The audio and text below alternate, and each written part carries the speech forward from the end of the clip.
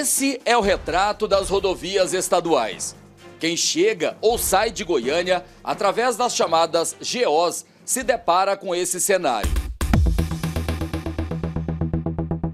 O matagal toma conta das margens e principalmente dos canteiros centrais das rodovias. É o caso da GO 070, que liga a capital à região do Vale do Araguaia. Logo no início, nas proximidades do aeródromo, o capim tomou conta do canteiro central. Antes de chegar no posto da Polícia Rodoviária Estadual, na altura da Vila Mutirão, as placas de sinalização sumiram no meio do mato. Quem precisa fazer o retorno não consegue avistar a placa e nem o aviso de que tem uma lombada eletrônica adiante. O guard-rei, que fica entre as duas pistas, também está escondido pelo matagal. Após o posto da Polícia Rodoviária Estadual, mais problemas. O mato está ainda maior e só chegando perto é possível ver as placas de sinalização. Problema para os motoristas e para quem mora em bairros próximos. É o caso desse aposentado. Seu João mora no Jardim Primavera, na região noroeste de Goiânia. E para pegar o ônibus, ele afirma que precisa ter coragem. A parada de ônibus está cercada pelo mato. Muito perigoso. O motoqueiro chega, aborda, né? É, e não é só aqui não, lá dentro do setor também, no, no, nos pontos de ônibus, tem muito assalto. Mas teve assalto aqui no ponto? Teve, teve assalto já. Teve assalto, acidente aqui na faixa, né? Então, assim, o perigo é ao atravessar a rodovia e ao ficar esperando o ônibus. Esperando o ônibus. Sempre demora. Sempre demora.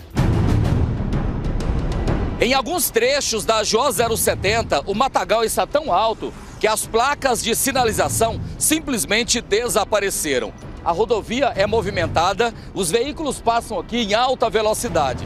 Mas bem aqui, ó, a gente olhando por aqui, a gente percebe que essa placa, que indica uma fiscalização eletrônica logo à frente, ela já sumiu.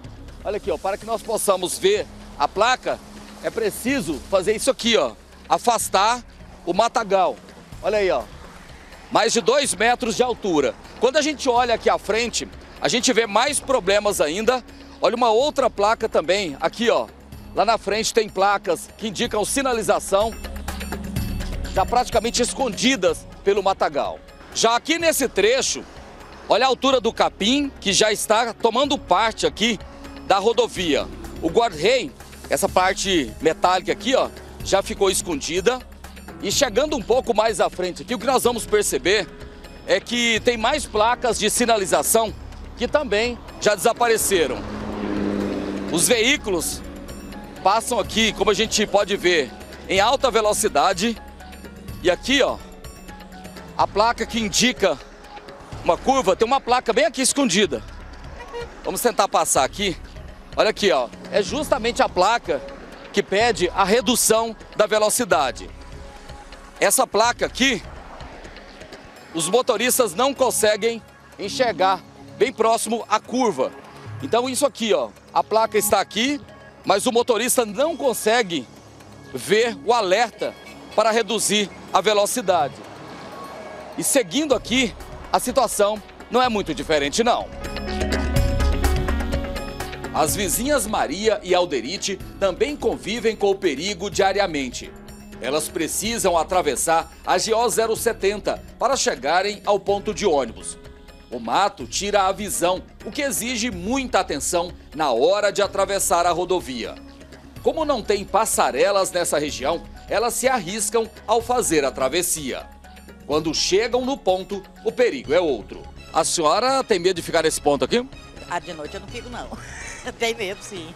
E durante o dia eu tô vendo que a senhora tá grudada com a bolsa Segurar, né? Que a gente não sabe de onde o bandido vem. e ficar esperando o ônibus perto do mato, né? É do mato. À noite é pior ainda. Eu não saio aqui à noite, não. Tem que estar sempre agarrada com a bolsa. É, Aham. E, e- e de manhã cedinho aqui, às vezes, dou uma bolsa de mulher aí, né? Aqui nos pontos. O matagal continua ao longo da rodovia.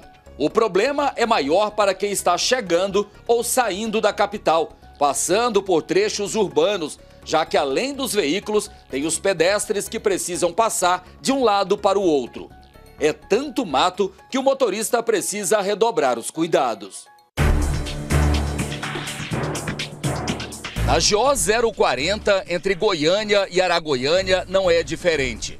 Seguimos da rotatória que fica no início da rodovia, no final da Avenida Rio Verde, até o setor Madre Germana, quase na divisa entre Goiânia, Aparecida, Aragoiânia e Abadia de Goiás.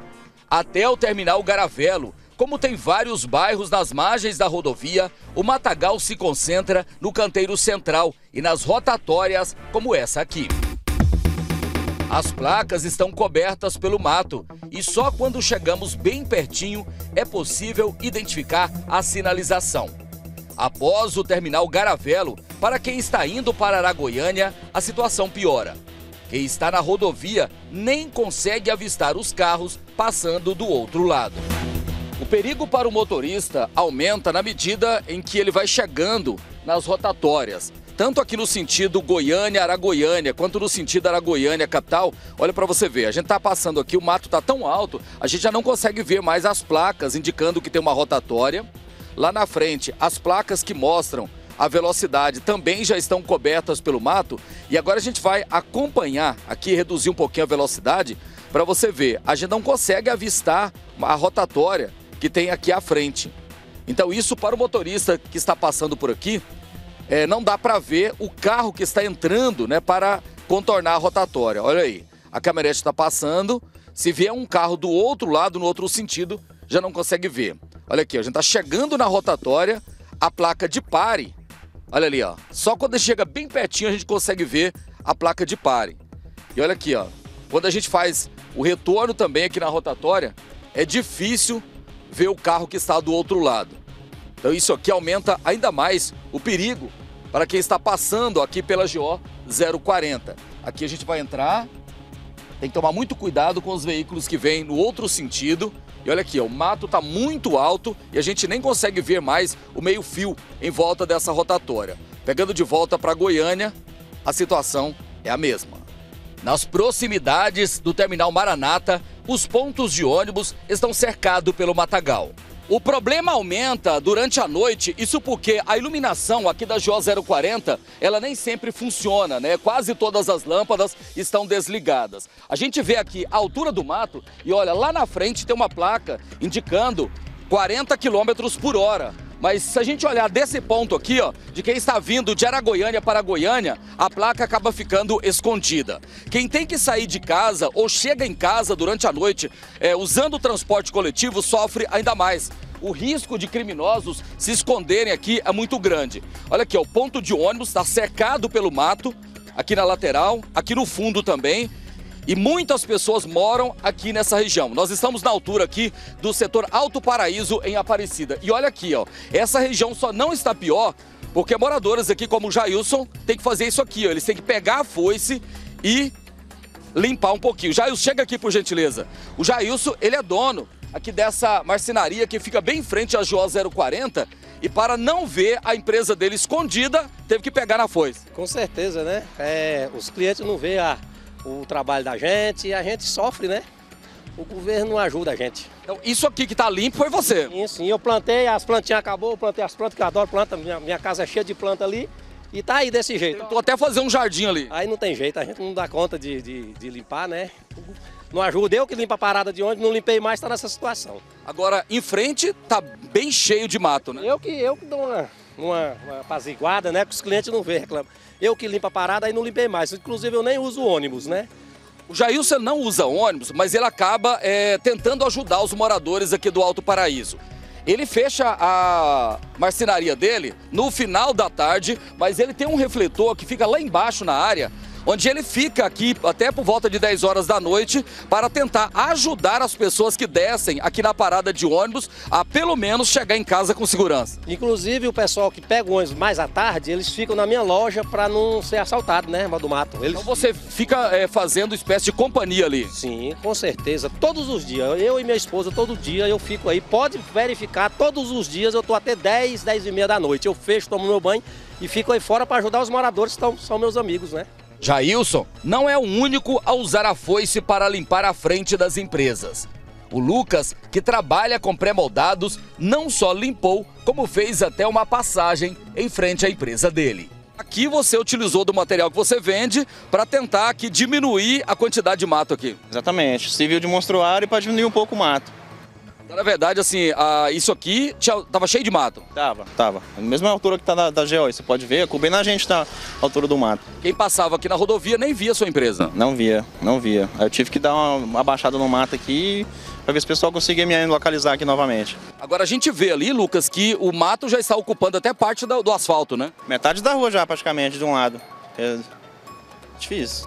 Durante a gravação, também encontramos o Isaac com a foice nas mãos. Ele é dono dessa oficina de refrigeração nas margens da GO 040 e também decidiu limpar o matagal que estava escondendo à frente da empresa. A limpeza é para melhorar a segurança.